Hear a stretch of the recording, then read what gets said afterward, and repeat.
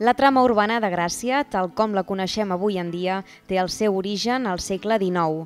Els propietaris de la vila comencen a construir i així neixen els primers carrers i places.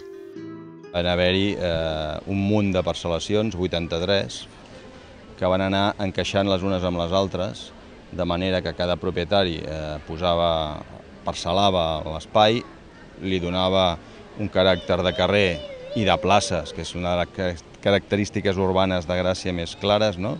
Hi haurà un patró inicial en forma de creu que configuren el carrer de Gran de Gràcia i la Travessera.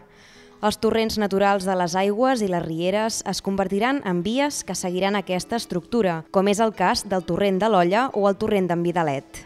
La nomenclatura singular de Gràcia dona pistes de qui hi havia darrere els terrenys. Aquest és el cas de la plaça del Diamant, envoltada del carrer de l'Or, del Topazi, del Rubí i antigament del carrer de la Plata, actual carrer de les Guilleries. Això és un espai que era propietat d'un joier de Barcelona que es deia Josep Rossell, doncs, lluny de donar-li noms de familiars o de parents, ell aquí li va donar doncs, en fi, la seva dèria, la seva dèria eren les joies. Un altre cas és la plaça Rovira i Trias, l'arquitecte municipal de Gràcia, amb els propietaris dels terrenys Rabassa, Massens i Torrente Flores.